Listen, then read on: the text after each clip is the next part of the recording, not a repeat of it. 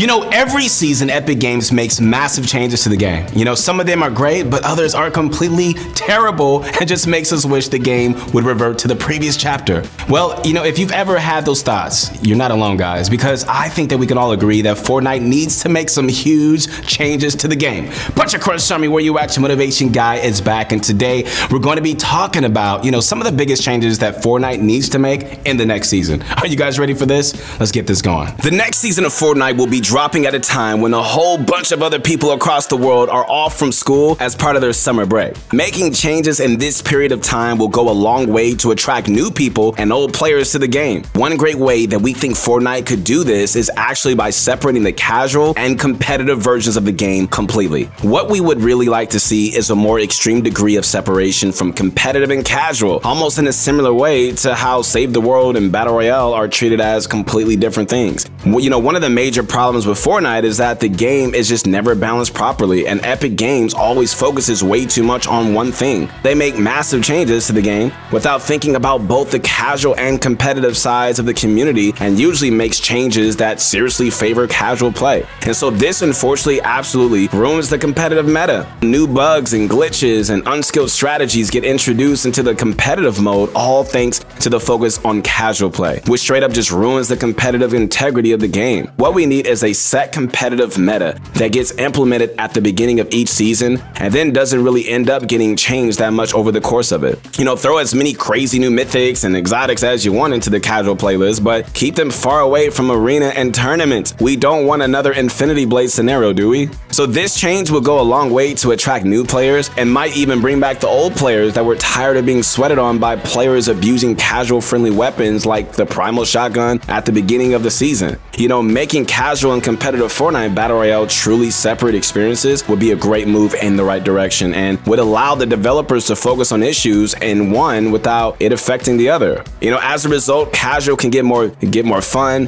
while competitive keeps its integrity. So if you want to hit the ground running, man, in the next season of Fortnite, you should head on over to ProGuides.com where, you know, we've got a bunch of courses that will take you from the absolute basics right up to the most complicated concepts in the game. And all you need to do is hit the link in the top right of the video to get started. So on the subject of huge updates, you know, something that we really need in Chapter 2 Season 7 is a brand new meta that players would have to learn. You know, over the course of the Season 6, you know, we've had to deal with the things like primal and makeshift weapons and, you know, let's be totally honest, like they haven't exactly been the most fun to play with.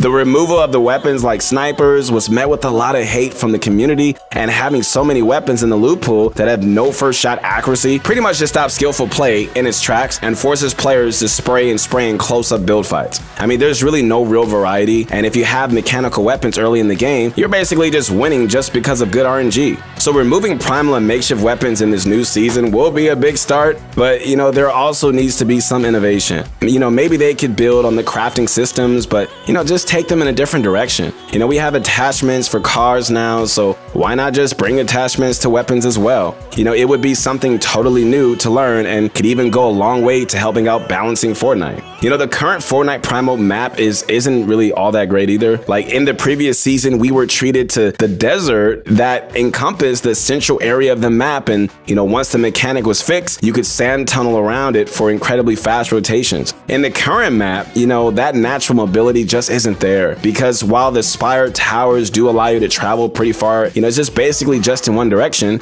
And it doesn't really help that Epic have removed the other rotation methods like shockwaves from competitive. And so what we really need, guys, is for Fortnite to bring back something like the ballers or the slipstreams so we can rotate around the map easier. At the moment, you know, the center of the map is always uncontested, and that's mostly because of the horrible loot and rotation routes that it has. And so what we need is for Epic to take all the good parts of Season 9 and 10 map and the agency authority area and just merge them together to create something new and interesting. You know, the worst thing is, is like the storyline over the course of the past season has very clearly, you know, pointed to different fragments of the chapter one and two map merging together. And we've seen that play out in places like Salty Towers, which has now become the Boney Burbs. And so if we took that concept just a little bit further, it would just be that much of a leap for the slipstream system to return to the game. And so within the current meta, players rely on a lot of luck and their ability to farm materials so that they can protect themselves on long hikes across the map. And so if we added in more natural rotation options, then and that would just be much less of an issue. And so let's be honest, guys, like mechanics like like the baller and the slipstreams were fun, you know, bringing them back just makes sense. Bunch of course, Army. Okay, guys, it's time for the question of the day. Okay, if you had the opportunity to talk to the heads over at Epic and you could change one thing in Fortnite Battle Royale,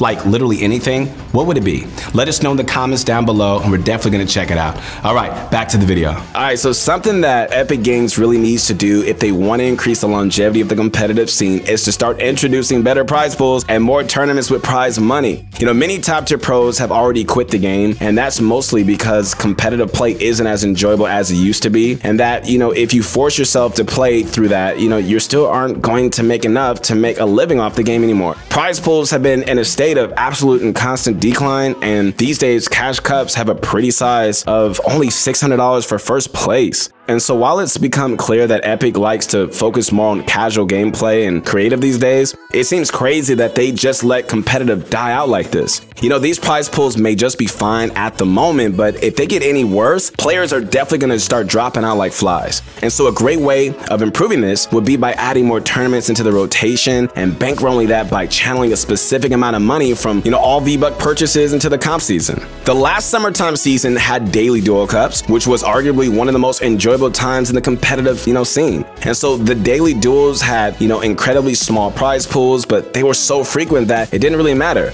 You know, they were also some of the best forms of practice and overall were just incredibly fun. You know, every single day you would wake up and just have a blast, meaning that you were looking forward to playing the game every day. And so obviously this is incredibly good for the game because the players involved have a reason to grind the game constantly, right? You know, considering the next season is going to be happening over the summer, now would be the perfect time to bring that summer tournament schedule back. And so alongside duel tournaments, you know, more streamer cups like Epic Well and Mongraal Cups would be pretty great too. And, you know, doing them bi-weekly would bring a ton of players back to grinding Fortnite. Sure, you know, every season has its drawbacks, but if you give your players a reason to keep playing, then Fortnite will be booming again in no time. And so as we mentioned before, you know, one of the biggest flaws that Epic has is chronic inability to just communicate well with its player base. It may seem like the players are always complaining, but you know, to be honest, a lot of the time it's for a pretty good reason. And so it feels like all the biggest updates are saved for the perfect times like the Apex Legends release. Like every time Fortnite has competition, it survives by releasing some of the most fun updates. Sure, this is good to keep the game alive, but it's also incredibly frustrating to the players who enjoy the game on a daily basis.